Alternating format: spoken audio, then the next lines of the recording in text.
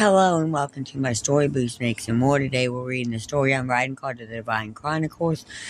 So please like this video and subscribe to the channel and for more videos like this also watch my other house channel, A&A Snakes and Stuff, my youngest son's channel, He Needs Toys and Games, or my oldest son's channel, Little 10.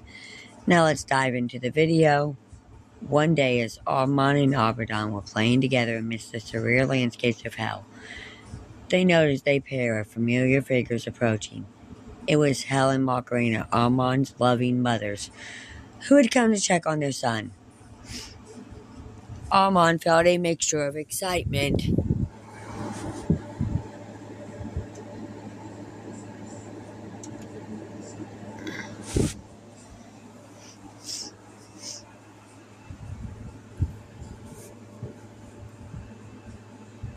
and apprehension as he realized that Helen and Macarena were about to discover his friendship with Abaddon.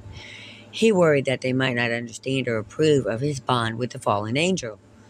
As Helen and Macarena approached, they saw the two young boys, Armand and Abaddon, laughing and playing together. They exchanged a knowing glance, recognizing the genuine affection between the two friends. Armand, feeling a bit anxious, finally mustered the courage to speak. Moms, I want you to meet my friend Abaddon. Helen and Macarena exchanged smiles of warmth and understanding. They knelt down. To Armand's level, and Hal spoke gently. Armand was so happy to meet your friend Abaddon. It's wonderful to see you both having such a good time together. Armand's eyes widened with, widened with surprise. He had expected questions of concern.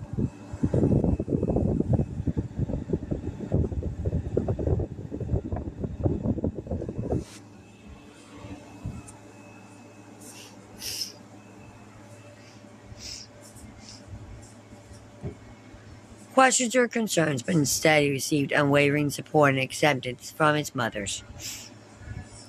Their reaction filled his heart with joy and relief.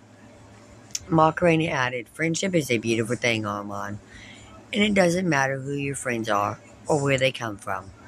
What matters is the bond you share and the happiness you bring to each other's lives.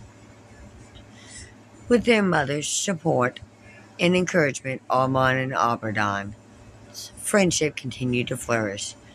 Hal and Macarena embraced the ideal that love and connection transcended all boundaries, and they celebrated the genuine affection that their son had found in the heart of hell.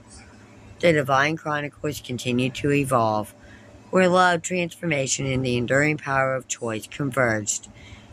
Amidst the cosmic complexities of hell, Gotham City, Metropolis, New York City, and the heart warming acceptance of Armand and Abaddon's friendship by their loving mothers, Helen Macarena. Thank you for watching this video and peace out till the next one.